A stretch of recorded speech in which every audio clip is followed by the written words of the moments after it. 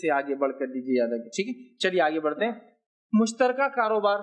اب چلیے بکریاں وکریاں، مثال ایک ساتھ مل کر کوئی لوگ بزنس کر رہے تھے، تو ان پر جس کا جتنا حصہ ہوگا وہ لوگ اس کی اتنی زکوٰۃ نکالیں گے، یاد رکھیں مطلب کسی کا کامن بزنس ہے۔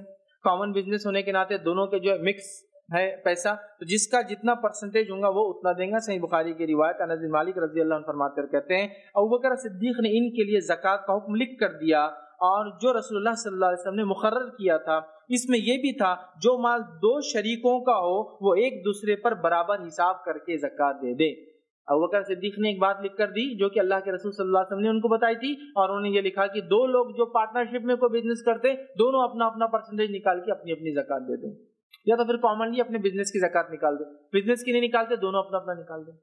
ذہن میں رکھے۔ ٹھیک ہے مطلب ہوتا ہے کہ پارٹنرشپ کیا؟ بولتا، میں تو مطمئن ہوں پارٹنر ہوں اس کا۔ نہیں، آپ اگر وہ صاحب نصاب ہے، وہ پیسہ اتنا ہے، جس پر زکات واجب ہے، تو آپ کو اپنا دینا ہوگا، وہ اپنا دیں گا۔ ہاں اگر وہ یہ کہہ دے، میں پورے بزنس کی زکات خود دے دے رہا ہوں۔ میں پورے بزنس کی زکات خود دے رہا ہوں، تو پھر کوئی مسئلہ نہیں۔ لیکن اگر بولتا نہیں، اپنی اپنی دینا ہے، تو حساب لگائیے اور زکات اس کی نکال دیں۔ ٹھیک؟ اسی طرح جو ہے